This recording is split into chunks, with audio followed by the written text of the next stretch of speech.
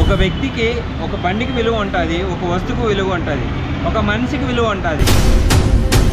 మనిషికి ఏ విధంగా మనం పట్టుకునే ఐఫోన్లోనో లేకుంటే మనం వాడే బైక్లోనో మన వాల్యూ తెలియదు సో మనం ఇచ్చే మాట మనం ఇచ్చే మాటను ఎంతవరకు నిలబెట్టుకుంటున్నాం ఎంతవరకు నిజాయితీగా ఉంటున్నాము అనే మాటనే మనకు వాల్యూ ఇస్తుంది.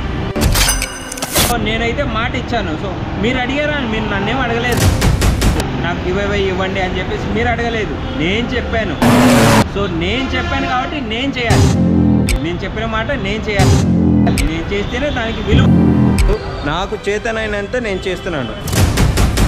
ఒకవేళ నాకంటే బెస్ట్గా మీరు చేస్తాను చూపిస్తాము చేస్తాం అనుకుంటే వచ్చి చేసుకోవచ్చు.